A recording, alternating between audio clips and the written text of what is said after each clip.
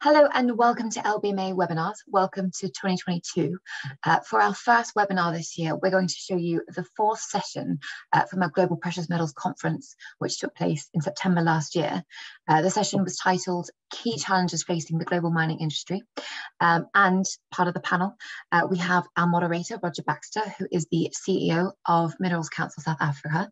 Um, we have a keynote presentation from Mark Bristow, who is the CEO and president of Barrick Gold. Making up the rest of the panel, we have Paul Fisher, who is the LBMA board chairman. Uh, we also have Martin Horgan, who is the CEO of Centamin. And finally, last but not least, we do have Natascha Viljoen, who is the CEO of Anglo American Platinum. So without further ado, let's take a look. We're going to be dealing with the challenges facing the global mining industry. Uh, and uh, we've got a real expert panel who are going to give us some ideas on the issues that we're facing um, at the global mining industry side. So what we're going to do is we're going to start off with Mark Bristow is going to give us a 15 minute keynote upfront, setting the scene um, uh, uh, objective and presentation. We're then going to go into a quick input from Tasha, five minutes from her, Martin, five minutes, and from Paul, five minutes. And that'll be focused on their views on each of the different topics. We'll go into a bit of a Q&A, and then once we've got that Q&A process uh, up and running, we'll take your questions in the session. So it's a really um, great topic. We've only got an hour, uh, and unfortunately, an hour flashes by very quickly. You know, when you're having fun. So I did ask our colleagues to fasten their seatbelts. So I'm going to ask you to fasten yours. And without further ado, I'm going to go straight to Mark, and Mark's going to give us his 15 minute keynote. And Mark, let me hand over to you. Thanks. Thank you, Roger. And uh, as you explained, we have been tasked with addressing the key challenges facing the gold mining industry a subject so large I could spend all day talking about it instead of the 15 minutes I've been allocated. As we all know, mining is by its very nature a challenging business. Mines are large, complex, and risk laden industrial enterprises run by people who have to manage them through commodity price cycles, find replacement for dwindling mineral reserves, convert them to renewable energy sources, and in many cases, find, build, and operate them in challenging jurisdictions with poorly developed infrastructure. So today I plan to focus on an overarching issue that affects us all, and that is the need to advocate for mining to the societies and general population who needs it serves uh, in countless and in growing ways. It's worth recalling that mining has been advancing human civilization since our remote ancestors started using copper in the Middle East some 11,000 years ago. And today, copper remains a material of critical strategic importance, a key component not only of the global power distribution infrastructure, but of all the new clean energy technologies. And in fact, these technologies are reliant on a wide range of mined resources. Mining has been the primary driver of economic development throughout the world and still performs that vitally important function in emerging countries. Its products touch the lives of every person every day and in many ways. We depend on at least 90 metals and minerals to support and power the global economy.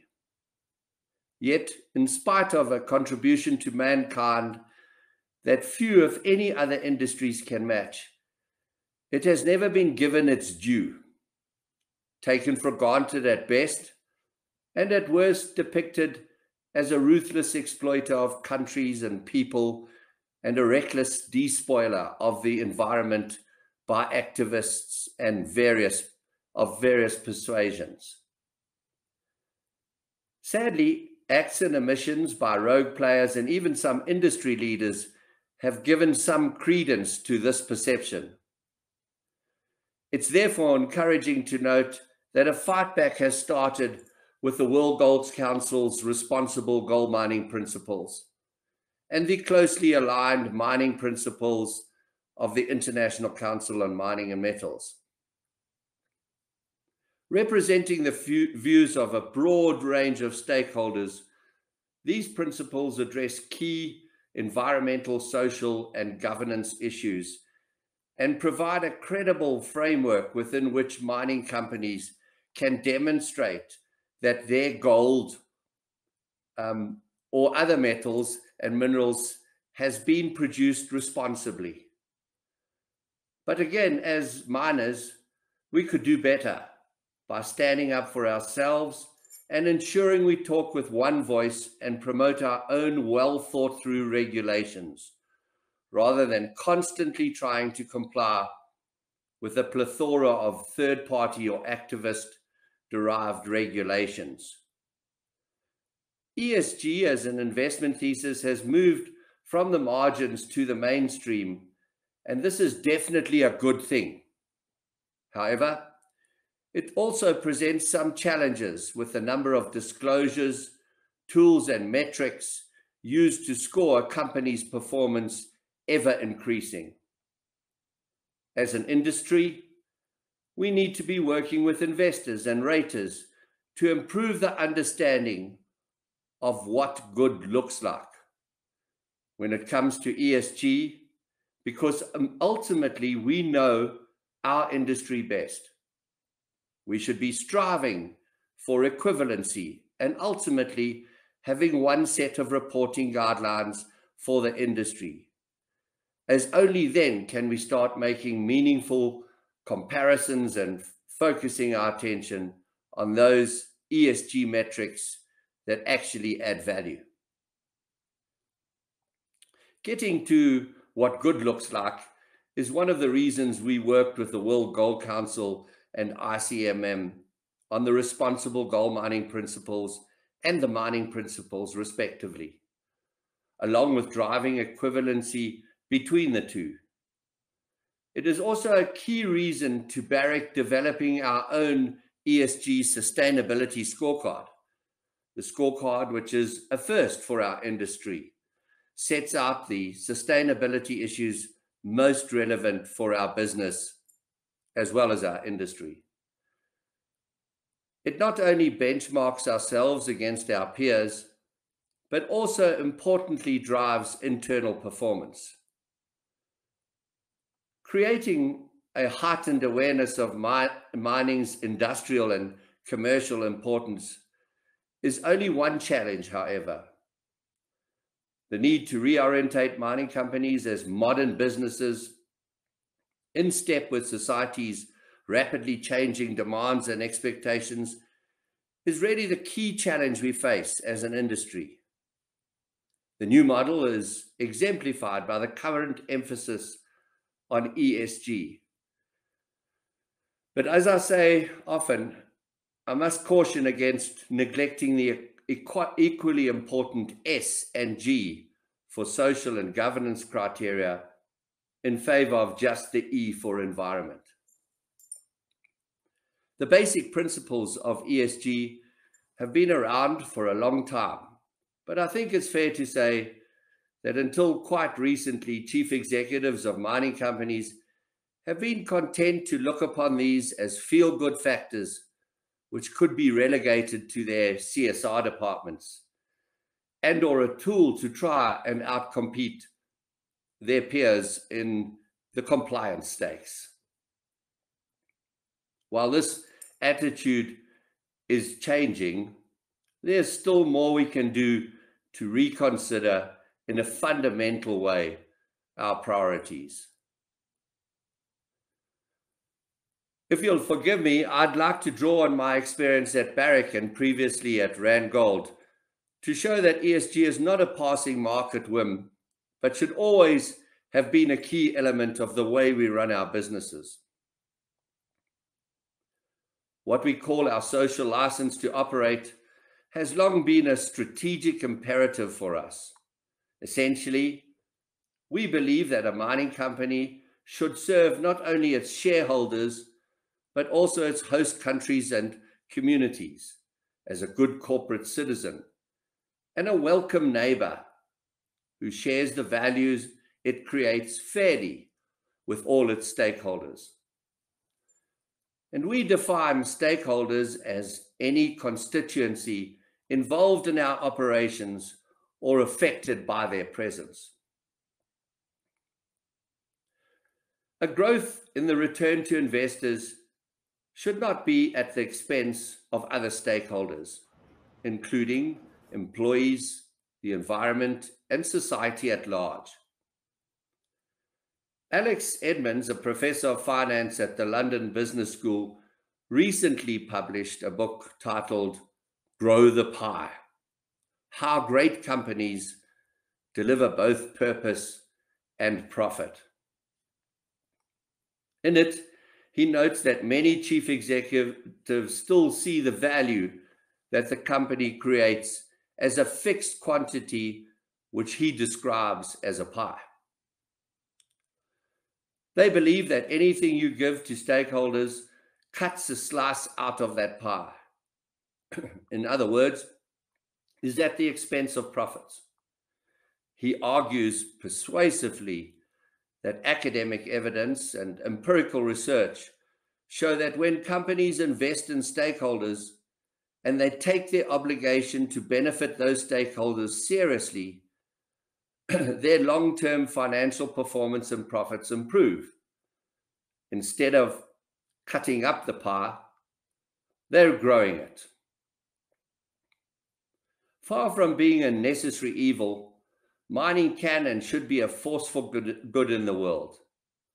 This is particularly true of those disadvantaged countries where a mining company committed to its stakeholders can transform the frontier regions with subsistence activities focused only on survival as their norm into sustainable economic hubs, providing modern conveniences and employment opportunities that liberate people both economically and politically. It's another sign of the times that people want products to have an ethical provenance, and the industry is vulnerable to the investor and consumer's perception of responsibly resourced minerals and metals.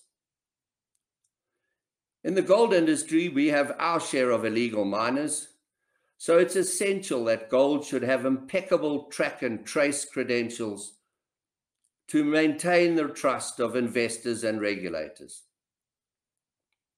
As the World Gold Council is advocating, we're on the cusp of a new industrial revolution driven by rapid advances in digital technology.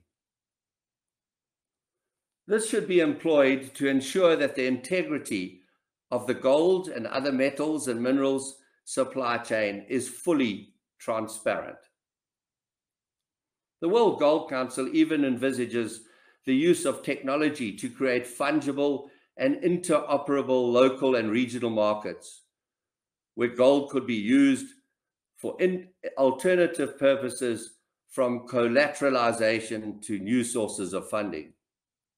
It's also working to move the gold market from an opaque bilateral system to a more transparent model. So, in conclusion, and I'm now speaking to my colleagues in the greater gold industry, from us miners to the refiners and consumers, it's up to us to make the case for gold and why it should form part of every balanced portfolio for institutional investors worldwide. As for the mining industry as a whole, the world couldn't exist without us. Instead of being defensive, we should assert our right to be recognized as the age old foundation of economic development, now successfully adapting themselves to the changing temper of the times. Thank you, Roger. So, Mark, thanks very much for setting the scene. And uh, I must say that uh, your focus on this advocacy around mining playing that critical foundational role uh, for the world's economy, and particularly in developing countries, uh, is a critical one. Uh, I think that old adage, if it can't be mined, it has to be grown, uh, certainly comes to mind. But I think it's also it's uh, hashtag making mining matter, the advocacy about that this mining industry the responsible part of it really needs to play a significant role in driving that debate, getting people to recognize and trust the sector, which is very much what you were saying there. So I think uh, appreciate you sharing those uh, those comments, uh, those inputs in your keynote. Uh, and from my side, let me hand over to Natascha. Natascha is going to give us uh, a perspective on um, more on the platinum side. But Natascha, let me hand across to you for your perspective, please. Thanks. Thank you so much, Roger. And thank you, Mark, um, for that very meaningful opening address. I think um, you've certainly covered um, the, a wide range of the challenges um, we're facing. Um, and as, as these are pretty well known, um, the, the kind of basic challenges like a declining resource base, a continuous fight for for water um, and energy. Those are the basic kind of challenges that we as a mining industry continue to um, to have. I think as an overlay to that, though, we start to see um, over the last number of years an increase in societal expectation.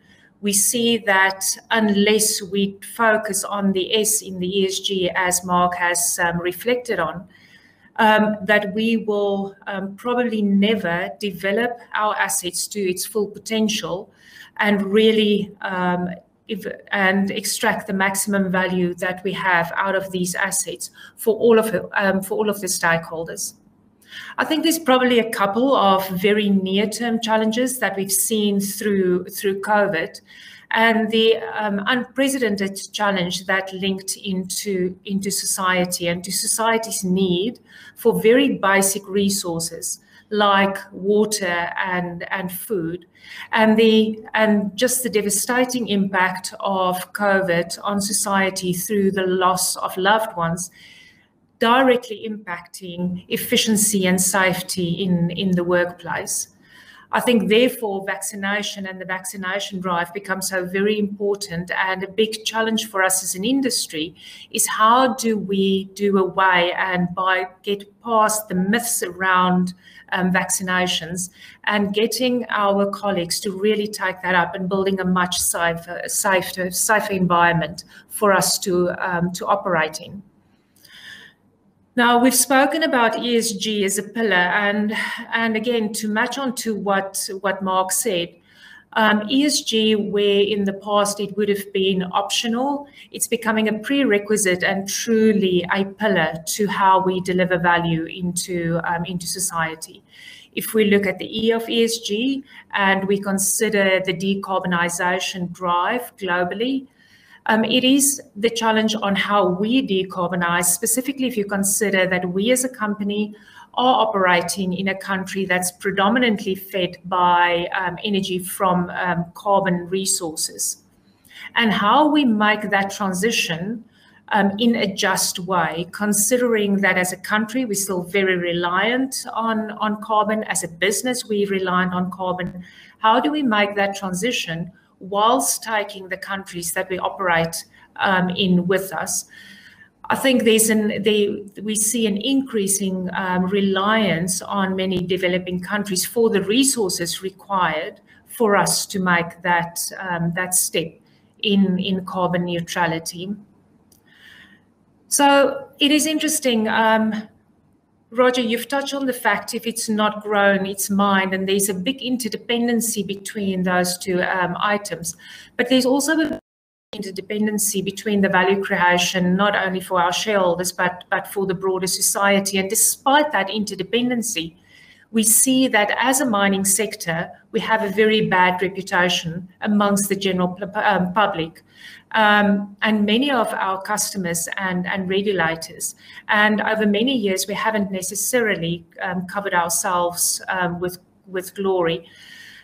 But the reality is, if we look at what the mining sector is um, in changing that perception, and not we're probably not very good in governance, but the reality of the work that we are doing on the ground is starting to make an impact that without that we won't see the local economic development that is required for sustainable livelihoods and not only for sustainable livelihoods in um, in supporting our local communities, but also how that um, filters through into our employees, whilst we leverage the benefit of technology and and digitization.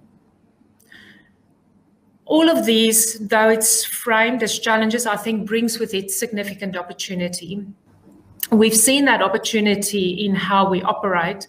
And Mark has touched on methods on how we can measure some of this performance. And we certainly um, have are rolling out um, IRMA, um, that is an independent resource um, um, evaluations um, program. And our Unki mine in Zimbabwe has recently received the first um, accreditation through this Institute for Responsible Mining Assurance and received a 75% certification, being an indication that in some of our most difficult countries we operate in, we do have an opportunity to make a real difference in society. The decarbonisation in our country is heavily dependent on coal-powered fire stations, as I've mentioned um, earlier. But I think in there, there's a significant opportunity for us in the greener energy sector to build a hydrogen economy that can not only um, address our own carbon neutrality, but is a significant um, resource for economic development um, in our country, not only for the country's decarbonisation effort, but also for a further economic um, development. So, as a commodity producer, we know um, we were subject to changes in supply and demand of our minerals, and we see even more of that coming through um, in, in COVID and the COVID impact on supply chains into our business, but also us as a business into, into wider society. And we cannot step away but from, from recognizing the challenges that we have in market uncertainty and how we set up our businesses to um, to run stably and sustainably through through this um, uncertain markets that we've seen right through through the COVID challenges but also then the uncertainty that we see in the energy transition. But we have a positive outlook and um, we've got a strong faith in the markets in which we deliver our product on. We know that PGMs um, is very well aligned with our purpose of reimagining mining to improve people's lives. We play a critical role in the decarbonisation and making the future um, much greener and healthier. Um, and I think key to that, as a last point, then would be our partnerships. I think partnerships are key to addressing many of these challenges. It's key to addressing social, political, and economic challenges of the worlds we operate in, and it's key to for us to unlock some of our other challenges like water and, and energy security. And I think it is a prerequisite for us to ensure that we deliver full potential from the um, operations that we have the benefit of operating. Thank you, Roger. So, Natascha, thank you very much for that. And uh, uh, I think it uh, creates a perfect segue uh, into the next um, uh, contributor on the panel. That's Martin uh, Horgan. Martin, just before you come in, I think Natascha really uh, also nicely built on uh, Mark's point around partnerships for development. Uh, the fact that we have these huge interdependencies within the countries that we operate in, and there's been a huge focus on how we improve our community engagement, um, etc., and how we also in, are enabled to go through this just energy transition and then linking to the hydrogen economy. So, uh, just from your side, uh, some of the specific challenges that you've been facing. Um, sure, over to you. Thanks, Martin. Thanks, Roger, uh, and thank you to Mark and Natascha for their uh, uh for their comments there, uh, and a, a, number of themes that we obviously recognise uh, from our aspect and across the sector as well touched on.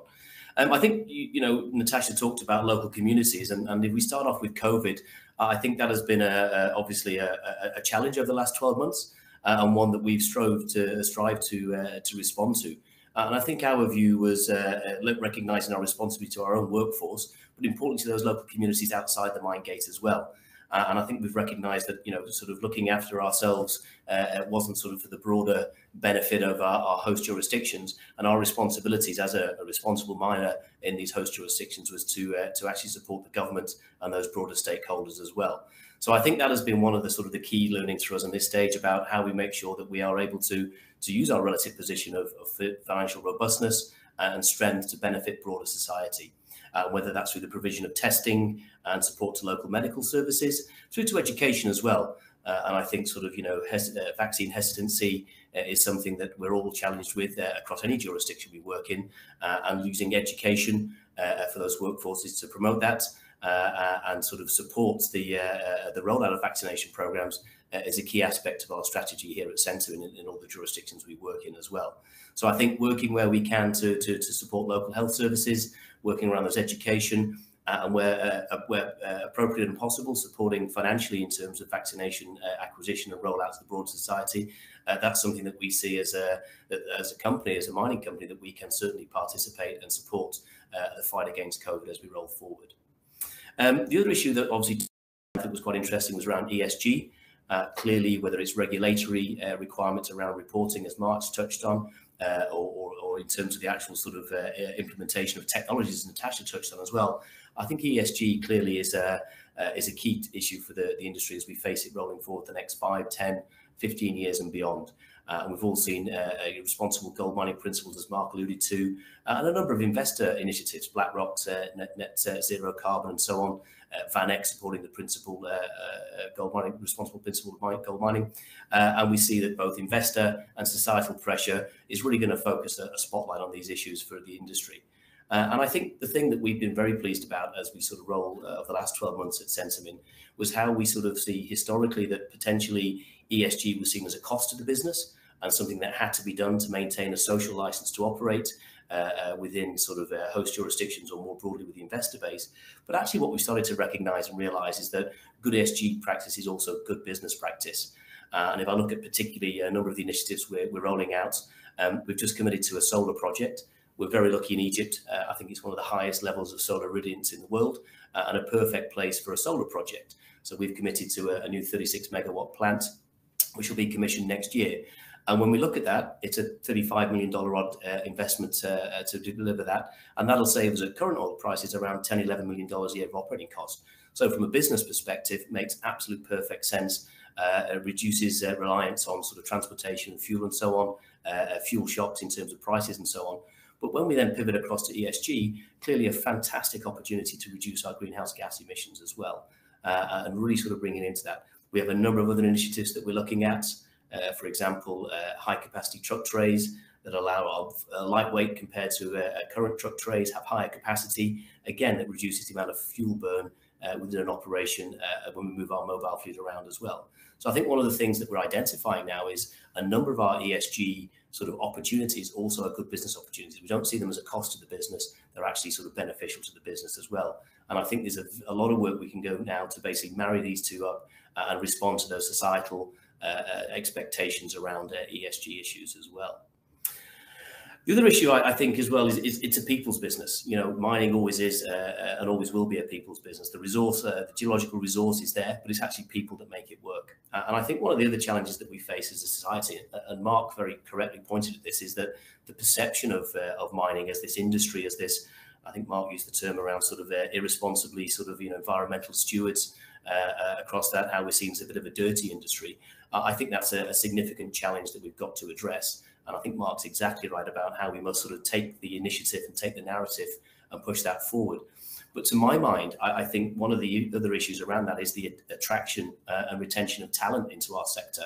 Uh, when we look at sort of uh, younger people coming through graduate schemes, uh, apprenticeships on the workforce, and so on, is that how do we as a sector attract and then retain the best talent out there? Because it's the lifeblood of what we need to do. Uh, and I think a younger generation we're uh, more aware of, uh, of issues facing globally. And sort of, you know, I can imagine an 18, 19 year old say that they want to get into mining. Uh, a number of their peers would probably raise an eyebrow and look quite interested at that sort of aspiration. But the reality is, is that mining drives our economy, you know, and we want a low carbon future. Mining is the, the, the industry that will deliver that low carbon future by delivering the raw materials that we need. and therefore our ability to attract that young talent into the sector to keep us moving forward is something that we have to address. And I think within that young talent as well, it will hopefully then start to address one of the other issues I think we have as a sector is around diversification in management, whether that be gender, racial, uh, and so on. I think that is also another challenge for the sector that we have to broaden our appeal uh, as we go forward as well. But I think we can do that. As I say, I, I genuinely believe in, in mining's uh, ability to drive the future economy, uh, to be an essential part of that low carbon future. Uh, and with the right talent in our sector, uh, we'll be able to deliver that on behalf of society globally as we roll forward at these challenges. So maybe, uh, uh, Roger, from my side, I think there are some of the key issues to, to talk on. Our COVID response uh, across our host jurisdictions, supporting local health authorities, supporting both inside and outside the mine fence, I think looking at ESG at the core of our business now, it's not on the periphery. And I don't see ESG as a, as a cost, I see ESG as an opportunity.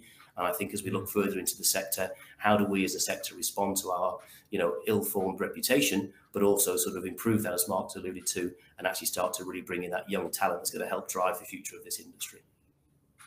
So, Martin, thanks for that uh, uh, perfect input. I just want to uh, add to your comment by saying that I think uh, what COVID has demonstrated is the mining, mining sector's ability to really work with country governments and communities and organized labor uh, to really fight COVID in a way which what we call saving lives and saving livelihoods, just the way the industry has responded through the proper risk-based approach with preventative and mitigating measures, uh, working with government around getting vaccines out, working with government, making sure that we manage the situation.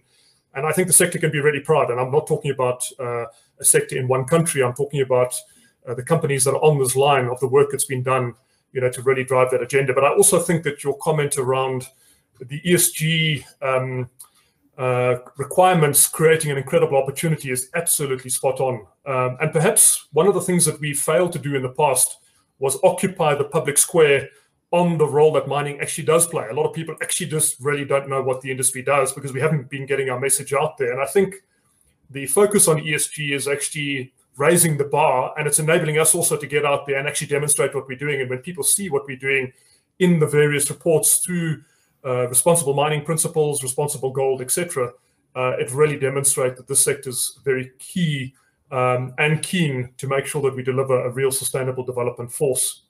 So thanks for that. Let me then go across to uh, Paul Fisher. You know, Paul, you I know get to tackle this pretty much from a more global level, given your role as, as the board chairman of the LBMA. So we're looking forward to your comments, and then we'll get into the Q and A. And, and ladies and gentlemen on the line, would obviously appreciate all of you if you have some uh, questions, just make them as difficult as you can. No stress. Uh, we've got an expert panel here. Looking forward to seeing those in your Q and A on your screens. If you wouldn't mind passing those through, but let me hand over to Paul. Paul, thank you. Roger, thank you very much. It's been a very fascinating discussion uh, so far. And one of the things I should note is that in addition to my role as LBMA chair, I actually do quite a lot of work on sustainable finance and I teach it and I've sat on various policy committees. And what I've been interested to hear is that the you know the three three people speaking so far, all of whom have focused largely on ESG issues as the main challenge for the industry, and focusing within that on the social aspects. Um, and I find that fascinating. Uh, I've done most of my work on climate change issues, and that's been rising up the agenda very quickly over the last five years. We've now got COP26, where we have great expectations of further movement forward. But what people may not realize is the way that social issues have been following on in the wake of that. And the context for that is that back in 2015, the United Nations announced 17 Sustainable Development Goals with implementation due for 2030. And what we're finding is that policies and market developments which have been aimed at climate change, um, carbon exposures, reducing greenhouse gas emissions, are slowly being uh, taken on board for these other sustainable development principles. Uh, and I'll give you two. One is um, we've got um, disclosure rules coming. They're, they're, voluntary at the moment. They're going to be made mandatory in Europe uh, around carbon exposures and carbon emissions. And people are looking at what other disclosure policies could be put in place to support other so, uh, sustainable objectives. And in the marketplace, we've had a growing market in green bonds, um, and we're now seeing uh, a rapid rise in things called social bonds uh, as well. So we can expect to see the social side of ESG picking up pace um, going forward. In terms of the mining industry specifically, the responsible um, mining principles are a great step forward. Uh, and I think what's going to be necessary to follow that up is it's one thing to say you're uh, mining responsibly, it's another to actually do it. But of course, it's a third thing to actually demonstrate to everybody that you're doing it. And the challenge will be to increase the amount of transparency, the accountability, uh, the independent assessment of that um, so that you can actually prove it to your investors and your customers um, as well. And, that, that's going to be a challenge. Going back slightly to the climate agenda, I think the um, uh, the missing piece for the industry there is we don't yet have any plans or commitments about how this industry as a whole is going to reduce its carbon emissions in line with government targets. We're starting to see various governments around the world, EU and UK, have already committed to net zero by 2050, and we don't yet know how the industry will fit within that. And we had better come up with our plans collectively, because if not, somebody will tell us we have to or give them to us, and that won't be quite so good for the industry. But I wanted just to finish off with a slightly different topic, um, which is it's slightly aligned. Uh, a, a, big challenge for our industry is that we know that tens of millions of people around the world are engaged in artisanal mining. But none of the output from that artisanal mining, and we're talking about up to 10% uh, of world supply, is going through what I would call the legitimate industry. It's not going into uh, responsible sourcing um, uh, through uh, LBMA accredited my, uh, refineries. So the conclusion must be that it's going into the illegitimate sector. And this is not good. Um, it's not good for us as an industry to have this small but significant component of uh, illegitimate mining going on. And it's um, it presents some risks, basically, that there will be increasing numbers of scandals, environmental and others, and the industry as a whole will have its reputation damaged by these um, activities going on outside the sector. But I say that, that we know that tens of millions of uh, people around the world are supported by this activity.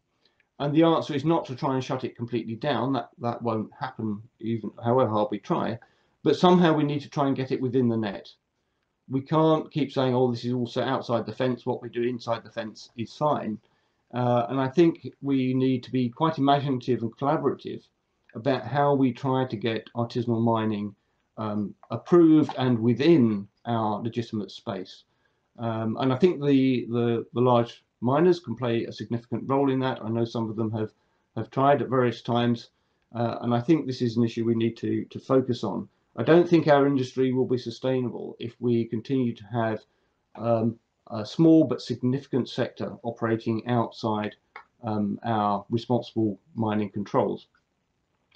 Um, so, of course, there's a whole range of other issues affecting the industry. And I think the key thing to remember is that fossil fuel production, mining for fossil fuels, is going to be seen as the problem. Uh, the supply of precious metals and other metals is actually going to be part of the solution because we need them to feed into the technologies for things like carbon reduction. But we need to distance ourselves from the other side. Uh, and we need to make the positive case for the industry um, and we need to be open and transparent in order to do that. Okay, Paul, thanks very much for that. And I think uh, um, just a couple of comments, and then I'm going to go into the uh, a couple of questions to uh, the distinguished members of our panel. Um, first one is, I think uh, you're absolutely right. I mean, companies are um, and the industry is getting a lot better um, at understanding what it needs to report on from a sustainability perspective around the ESG standards. Um, so it's what the standards look like, then obviously making sure that they can collect the information over time and make sure that those standards are all relevant uh, and linked to each other. So there's a degree of recognition between the different standards that may apply for platinum to those that apply for gold, as, as just as an example but then also how to display it over time, developing that track record. And in fact, there are certain systems that are already in place around the world. Uh, there's the Canadian Towards Sustainable Mining um, system, which enables the companies to demonstrate a track record over time. And there's no doubt that the ICMM mining with principles um, and the responsible gold standards are going to do exactly the same in terms of the way that companies report on each of these areas. And Natascha did mention um, IRMA and a few others, um, where the companies have become a lot more transparent in their in their views.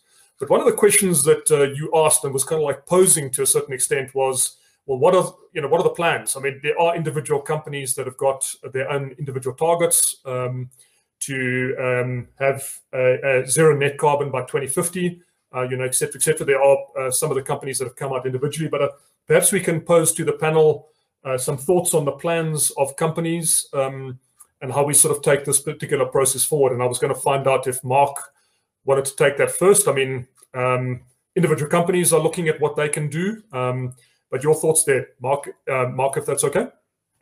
Yeah, thanks, Roger. I think it's such an important aspect of the point of planning and plans and the, the big gap that we face uh, as a globe as mankind is the lack of plans. We're full we're very long on regulations and very short on plans. And and you know one of the things i often challenge regulators uh, of which there are many how many of those regulators have actually been to emerging countries, countries there the majority of the population subsist.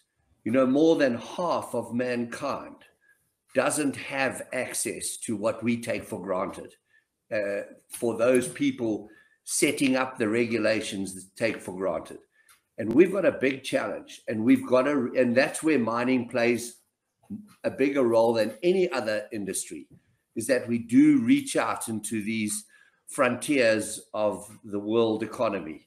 And, uh, and the more we can share the pie that I referred to, the better uh, mankind will be going forward. So, you know, I think uh, Paul touched on a very uh, uh, important point, and that is, you know, I, I bet you that there will be no time spent in COP26 about plans for those part people from society that are going to be left behind by the regulators. Mark, thanks for that. So, uh, Martin, on your side, uh, any thoughts um, uh, on on that target? And then I'm going to go to Natascha and ask her in particular around, you know, as we go forward around the hydrogen economy and how the companies can play such a leadership role in this space. So I think, uh, Roger, that, that you know, for us as we start to think about how we deliver 2030 targets and 2050 targets, I think it's the recognition that there's no silver bullet. Uh, and I think it's going to be a coordinated framework of, of different strategies leading to carbon reduction. Uh, I think the sort of the general sort of uh, uh sort of consideration is replace, uh, reduce, uh, and displace, and then offset. So, you know, can we find alternatives to fossil fuels for, for power?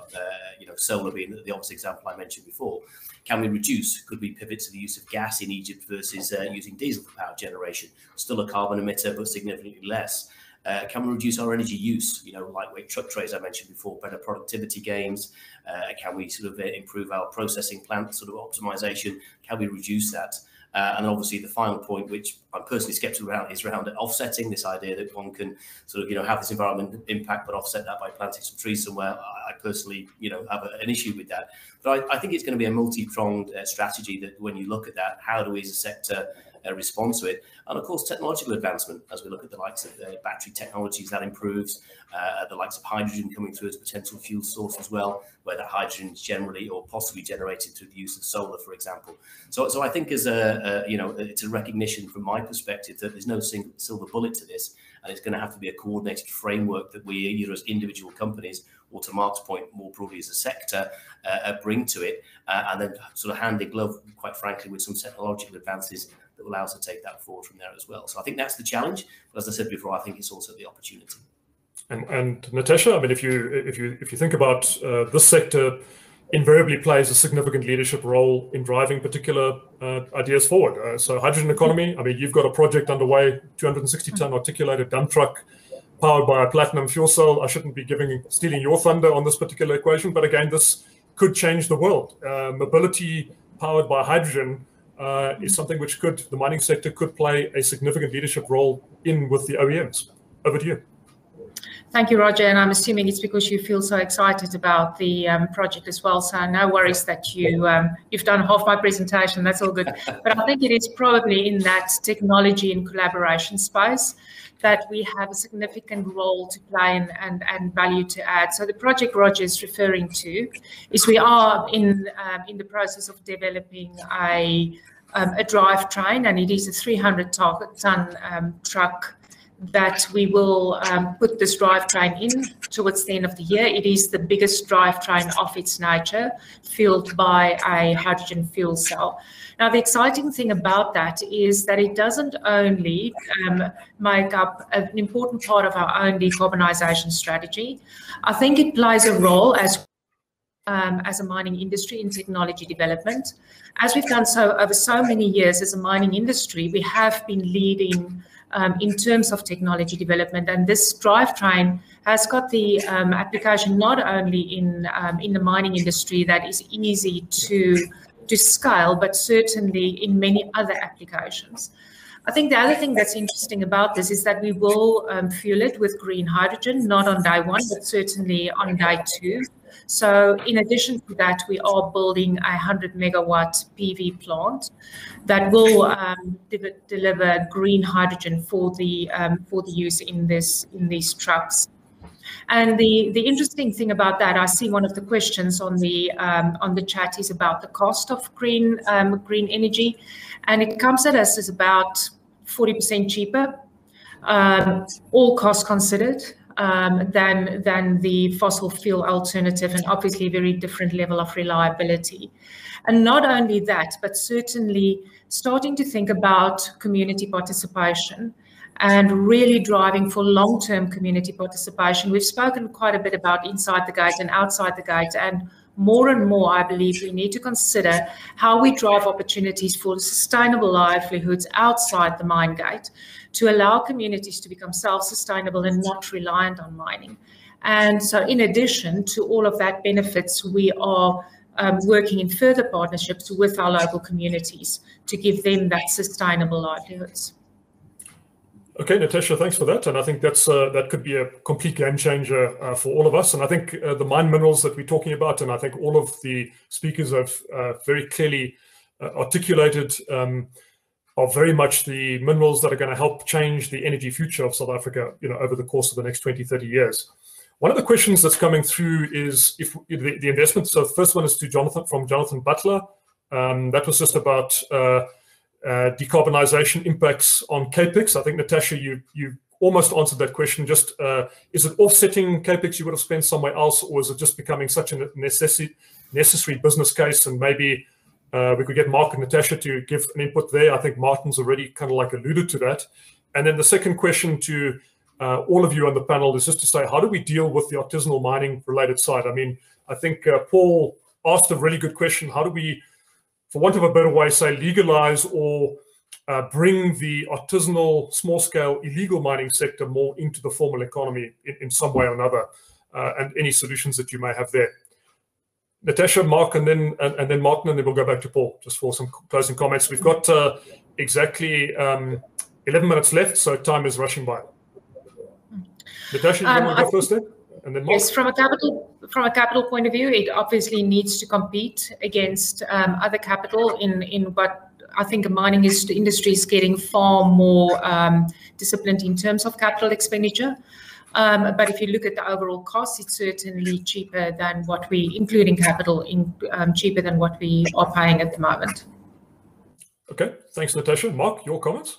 Uh, Roger, two things. Uh, you know, technology is important, and you know we've seen the the mining industry start to wake up uh, to technology, and uh, you know it's it's important if we want to be acceptable to future generations. We're going to have to invest a lot more in technology, not only just to be compliant, uh, but you know there's a whole lot that we can do. I think you know Natascha has really touched on it. We've got so far to go to actually deliver on the 2030 objectives and and we're going to have to you know invest in technology so it's not uh, you know if it is how that we've got to you know really invest in on the illegal mining thing it, i think it gets back to my point about you know, the world leadership needs to reach out. We saw that in the 80s uh, with the, the, the developed countries reaching out to Africa to forgive debt. Um, we've seen a, a, vast neglect of the emerging world from the developed world as the world moved towards populism uh, and individual sort of inward focused policies rather than uh, looking back over the whole uh, challenge across the globe. And and again, you know, illegal mining is one of that. You know, poverty is, I believe, poverty is even more dangerous than climate change. Um, because if we don't bring the rest of the world with us and give them an opportunity, we will continue to see more and more radicalism in the in the world. So, you know, it's a big responsibility. We have to look at uh, at um, at a, a, global solution. And and the the sad thing is, if we look how the world's managed COVID, it's been a disaster. Uh, it's definitely not an example of how we should have behaved as a global community. So, uh, um, and I just to finish off, the mining industry has been a standout force in managing COVID, but uh, you know the rest of the world has done a pretty bad job over it. Exactly, Mark. Hundred percent. I fully agree. And uh, so, just shifting to Martin. Martin, your take. I mean, you indicated that uh, you know investment in these sort of technologies and uh, a number of the ESG requirements is not a cost; it's an investment. It's uh, kind of like makes business sense, and you kind of like uh, see that progressing. Any further thoughts? Um, it doesn't displace existing capex; it basically replaces um, basically some of the operating costs that you would have incurred uh, through other sources. And then, just your take on uh, the ASM artisanal small scale mining issue and how that should be more formalized? Sure, sure. Uh, look, on the the the, the uh, capex opex implications for that, I would just turn that around and, just put a, another spin on it. Just from the other side of the table, is that when one is comparing uh, an investment in a technology that that has uh, you know ESG benefits, you know uh, you know Natascha mentioned about obviously the, the hydrogen. I think that's great, obviously, um, but I think the important thing we need to do is that we need to fully recognise the cost of the alternative fossil fuel generated opportunity and things like carbon pricing. So if you're looking at sort of you know it's a chance to put a, an X million dollar capex program in on this basis, what's the NPV IRR of that? But also when trading off against the uh, uh, say for example a diesel or an HFO power mm-hmm. generation uh, alternative is that you know not just what's the input price of the of the fuel source is that you know we've got to add in that, that additional carbon pricing as well. What cost per ton are we looking at as well? So when we're having a true uh, sort of trade-off on this is we're not just looking at sort of you know the two input costs. What is the cost of that carbon uh, to the alternative as well? So i would say look just fully echo what mark and natascha have said there before. And my own spin is just make sure that we properly cost in the alternative of sticking with a fossil fuel when we're making those decisions from a board perspective. In terms of the ASM issue, um, look, you know, uh, I've been around Africa for the last 20 odd years um, and sort of my views on, on ASM, it's an essential part of the economy in, in a number of places. Uh, to Mark's point, you know, it is the, the, primary source in a number of areas where subsistence farming sort of fills people's tummies, and then there's a, a short season whereby people do a little sort of cottage industry type uh, uh, uh, sort of mining that puts a few pence in the coffers and, and from there as well. And I think sort of that level of sort of uh, ASM um, you know, how does one sort of stop a family or a small couple of families in a small hamlet sort of from doing that when they sort of have this balance between them? Uh, and I think, you know, looking to eradicate that or try and regulate that is a difficult thing for host jurisdictions and industry. I think where I personally have issues is where one sees these large scale, semi mechanized, organized artisanal sites. Uh, and one starts to see the use of blasting coming in, uh, the use of cyanide in sort of small CIL tanks dug into the ground with plastic sheeting. Uh, and I think that is the big thing to challenge. And, and, you know, who funds and drives these things, quite frankly. You often see machinery there.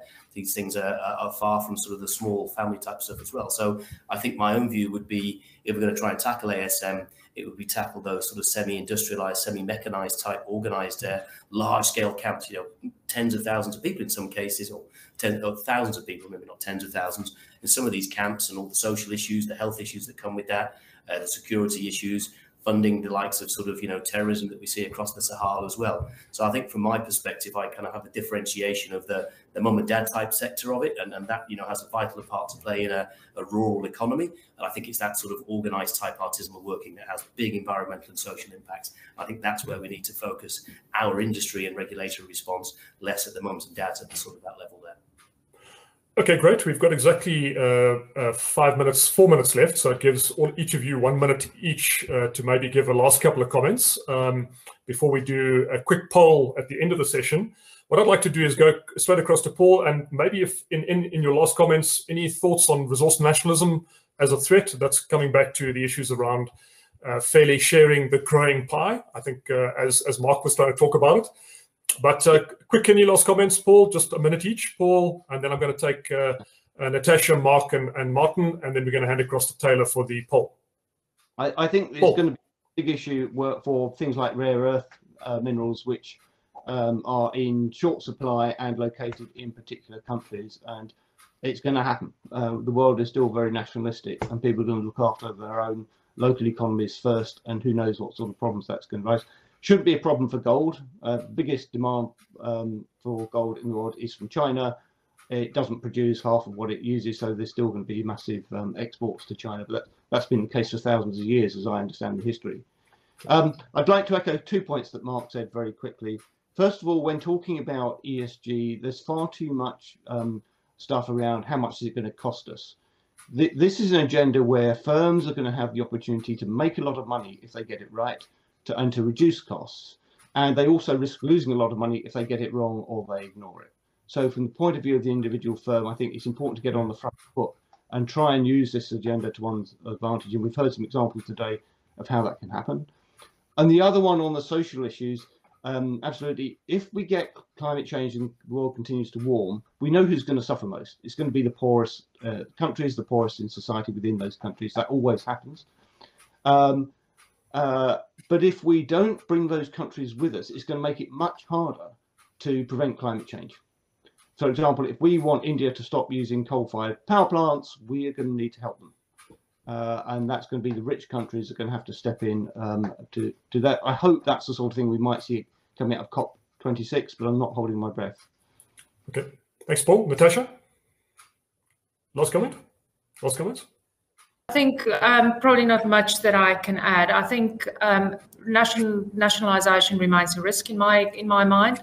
I think um, what's in our hands are certainly the advocacy that we should be doing for the good work that we are doing and the impact that we are making as a as a mining industry.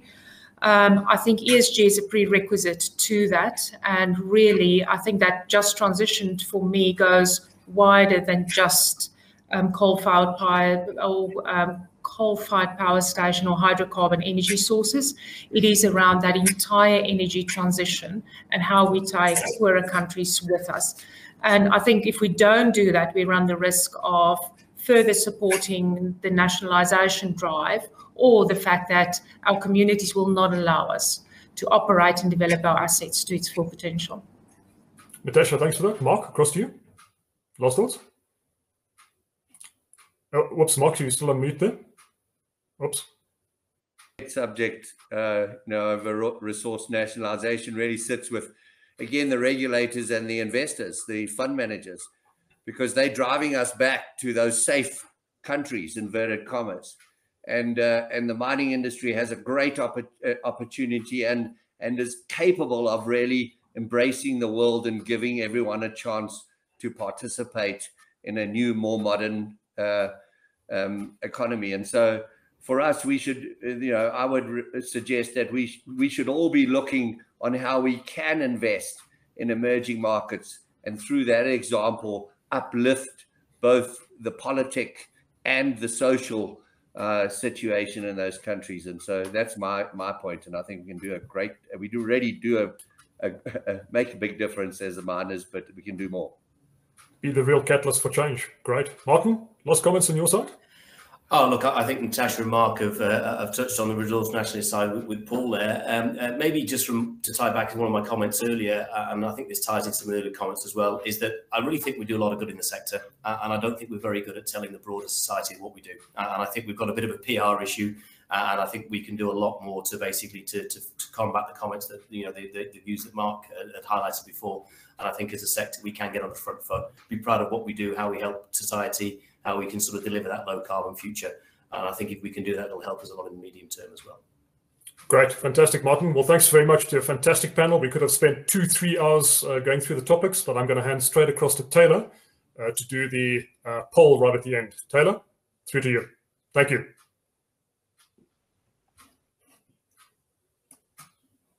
Hi everyone, um, thank you very much for that session. Um, I'm going to launch a poll now. Um, so which is your favourite speaker? You, you will hear some clock bells in the background of um, of where I am right now.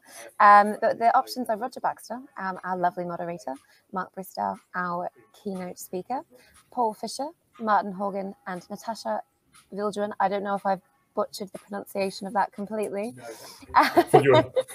Viljoen. Okay, there we go. um, and um, our, our, three lovely uh, speakers on the panel. Um, so please get your answers in. Um, and I'll give you a few more moments for that. Um, excellent. I feel like I'm on Strictly Come Dancing here. well, you know, you very well may be. That could be the prize. That's to be voted off this week. And, and, eagerly anticipating the results.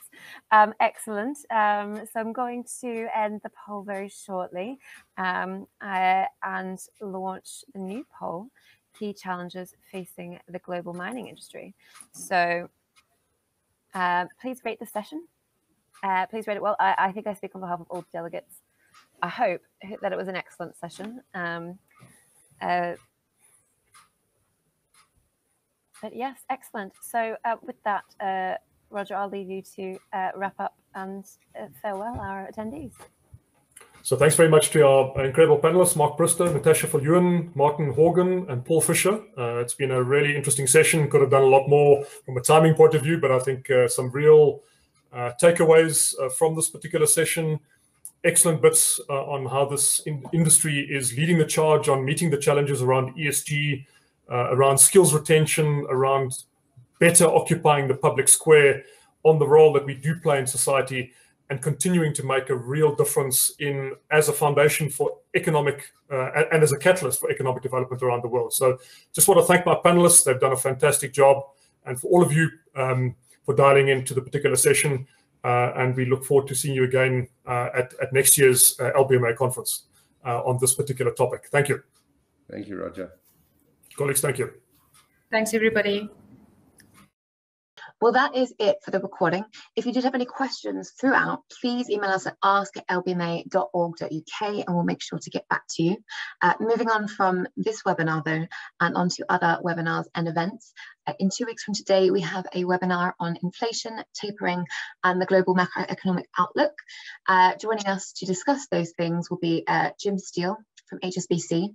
We'll have Rhona O'Connell uh, from StoneX. And finally, we'll have Suki Cooper uh, from Standard Chartered. So this will be the first in a series we have dispersed throughout the year, um, where we'll have the trio join us um, and discuss how these things unfold throughout 2022. So do join us if you can. Uh, we can email you the registration link or you can find it on our website in February, we have two training dates. So we have uh, Introduction to Loco London and How to Use Loco London on the 22nd and 23rd of February, respectively. Uh, so the first course, Introduction to Loco London, is exactly that. You'll learn about the loco London market, you'll learn about goods delivery lists, you'll learn about LBMA, you'll learn about a full range of things. If you have any questions about exactly what that entails, just send us an email and we'll let you know. Um, the How to Use Loco London course is a is a deeper dive into what is taught on the previous course. Um, so if you feel like you do have a good understanding of the basics and you want to have if you want to garner a bit more of an understanding, this is the course for you. Again, if you do have any questions, please send us an email um, and we'd love to hear from you. Um, finally, in March, uh, we have our Responsible Sourcing and Sustainability Summit. Uh, so that will run from the 28th to the 30th. More details will follow, but do save the dates. Uh, so with that, I conclude this webinar. I'm looking forward to another year uh, full of many more.